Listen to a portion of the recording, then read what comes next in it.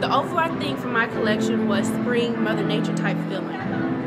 I drew inspiration from butterflies and the flowers and like the waves of the ocean, everything that interacts with Mother Nature. Yes, the fabric did play along with my clothes. Like some was very flowy, like it's like fit for the summer and spring weather, and then the my more elegant wear was still kind of loose, so it will like be kind of airy, but then at the same time look perfect.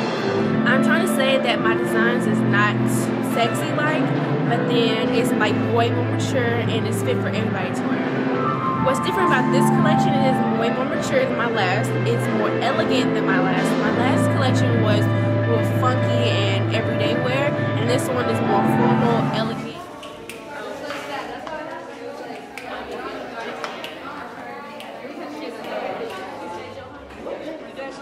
So you're never too young, you're definitely never too old to go after a lot of the designers you've seen tonight had dreams from when they were younger and now they're going after it, now that they're older. If you have a dream, you just gotta do one thing. You gotta step out on faith. You just never know. Dreaming about it and thinking, what if? Those are the things that kind of kill you when you grow up. What if, you know, what if you just took that chance? And this young lady is going after it. She has her own fabrics at Hancock's Fabrics. Huge. Yeah? She's so cute back there. She's so anxious um, to give her models a lot of love in her designs as well. Let's get it started. Tanesa Peterson, welcome.